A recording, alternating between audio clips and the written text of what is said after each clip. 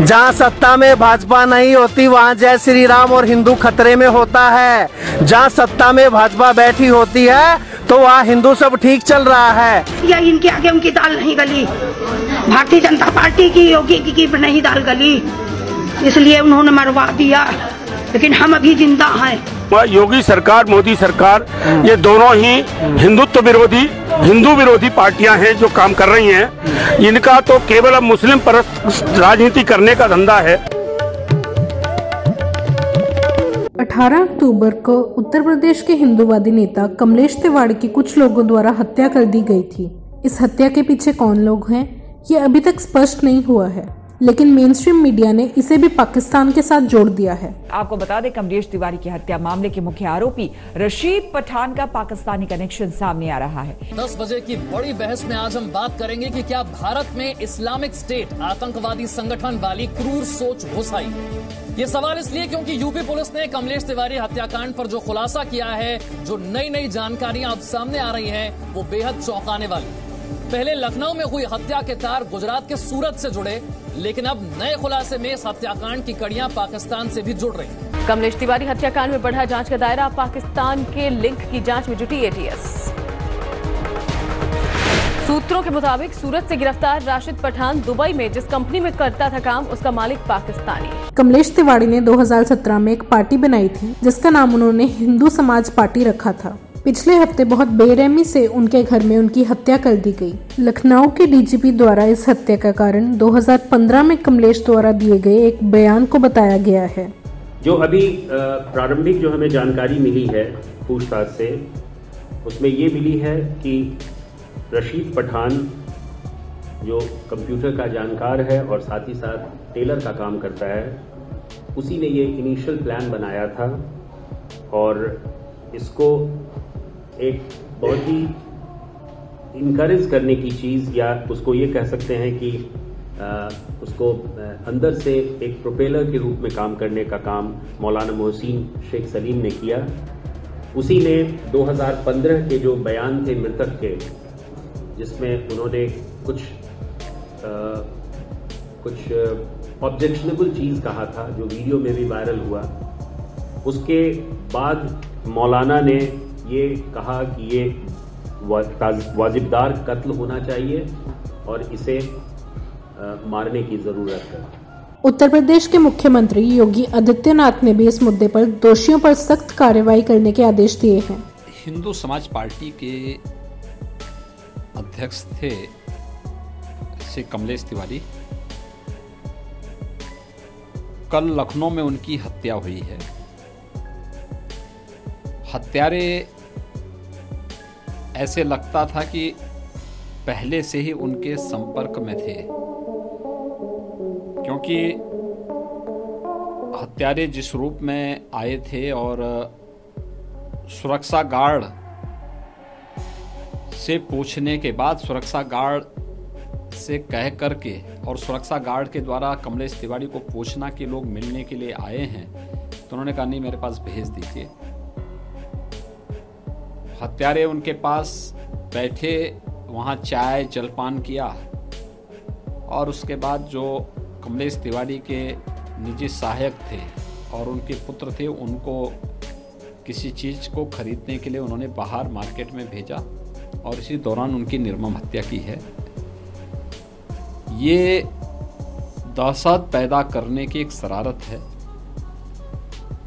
इसमें कुछ लोगों को हिरासत में लिया गया है। जिनमें तीन लोगों को गुजरात में और दो लोगों को उत्तर प्रदेश में। शेष अन्य लोगों के खिलाफ प्रभावी कार्रवाई करने की तैयारी चल रही है। लगातार दबिशें दी जा रही हैं। इस मामले की पूरी विवेचना और इसको एक स्पेशल इन्वेस्टिगेशन टीम को इसको दे करके इस पर प्रभावी कार्रवाई करने के निर्देश दिए गए हैं। आज शाम को पुनः मैं इसकी समीक्षा भी करूँगा। इसी बीच कमलेश तिवाड़ी का उनकी हत्या से पहले का एक वीडियो काफ़ी वायरल हो रहा है जिसमें वे भाजपा के खिलाफ बोले थे। पदाधिकारी कार्यकर्ता भाजपा का पदाधिकारी कार्यकर्ता मरता है तो मैं ये नहीं सोचता हूँ कि वो संघ और भाजपा का है हम चुप रहे। हम ये सोचते हैं कि वो हिंदू है। ये भले मैं जेल चला जाता हूँ, ये भले मेरे लिए षडयंत्र रचते हैं, लेकिन इनके कार्यकर्ताओं के लिए भी मेरे दिल में दर्द होती है और मैं लड़ने निकल पड़ता हूँ। इन हराम खोरों के लिए जो मेरे पीछे दिन रात पड़े हुए, मेरी हत्या की साजिश रचते, मेरी सुरक्षा हटा दिया। योगी सरकार के आते ही फिर भी मैं लड़ रहा हूँ और इन्हें ये दिखा रहा हूँ कि मैं अपने दम पे लड़ रहा हूँ और हिंदुओं के लिए लड़ूँगा। हिंदू समाज पार्टी के कार्यकर्ता कमलेश तिवारी की हत्या का इल्ज़ाम योगी, मोदी और संघ पर लगा रहे हैं। जब कमलेश तिवारी जी बार बार केंद्र सरकार, प्रदेश सरकार को बार बार में अपनी सुरक्षा के लिए कहा गया और गुजरात पुलिस एटीएस पुलिस ने आईएसआई के दो आतंकवादियों को गिरफ़्तार किया और एटीएस के सामने उन्होंने बयान दिया कि हम कमलेश तिवारी जी की हत्या करने के मंशा से भारत में आए और उनकी गिरफ्तारी होने के बाद भी भारत सरकार, भाजपा की सरकार, केंद्र सरकार ने उनको सुरक्षा मुहैया क्यों नहीं कराई? जबकि 2014 से पहले और उत्तर प्रदेश में योगी की सरकार से पहले की सरकारों में 17 17 पुलिसकर्मी उनकी सुरक्षा में रहा करते तो योगी जी की सरकार ने आते उनकी सुरक्षा वापस ली और इसके तहत हम इसको सीधा सीधा इसको मानते हैं, उनका मर्डर नहीं किया गया, उनकी हत्या करवाई गई है और इसमें सरकार का सीधा सीधा हम इसमें हाथ इसलिए मानते हैं क्योंकि सरकार ने उनकी सुरक्षा वापस ली। तो ये भाजपा की सरकार, दोगली सरकार है और ये दोगली सरकार नहीं, ये हिंदुओं की दलाली खाने वाली, राम मंदिर की दलाली खाने वाली सरकार है। मेरे भाइयों, बंगाल में सत्ता में भाजपा नहीं है। जहाँ सत्ता में भाजपा नहीं होती, वहाँ जय श्री राम और हिंदू खतरे में होता है। जहाँ सत्ता में भाजपा बैठी होती है तो वहाँ हिंदू सब ठीक चल रहा है। इसलिए बंगाल में हिंदू हिंदू मारा जाता है तो हिंदू खतरे में आ जाता है। इनको राम याद आ जाता है। ये राम विरोधी, हिंदू विरोधी सत्ता के लालची गद्दार भाजपा वाले हैं। इनको सत्ता चाहिए, इसलिए बंगाल में जय श्री राम बोलते हैं। अब कहा मर गए हिंदूवादी संगठन तथा कथित केवल भाजपा की गुलामी और गुलामी ही नहीं। मैं ये कहूँगा, आज देश में बहुत सारे संगठन भाजपा के नाम की चूड़ियाँ पहन के उनकी गुलामी करने में लगे हैं। आज कहाँ है वो संगठन जो कमलेश तिवारी जी, हिंदूवादी नेता की हत्या हो जाने पर मूक बन के भाजपा की चूड़ियाँ पहन करके बैठे हुए हैं, बिलों में घुसे हुए हैं। भाई साहब, मैं ये कहना चाहूँगा, योगी सरकार, मोदी सरकार, ये दोनों ही हिंदुत्व विरोधी, हिंदू विरोधी पार्टियाँ हैं जो काम कर रही हैं। इनका तो केवल अब मुस्लिम परस्त राजनीति करने का धंधा है। इन्होंने मुस्लिमों के साथ, सबका साथ, सबका विकास, तीन तलाक पे काम कर रहे हैं ये लोग। हिंदुओं के लिए नहीं कर रहे ना हिंदुओं के लिए कहा। अगर हिंदुओं के लिए कर रहे तो इनका एक ही मकसद है हिंदू नेताओं की हत्या कराना हिंदू नेताओं को दबाना जो इनके कहे में ना चले जो इनसे थोड़ा विरोध करे उनको दबा देना।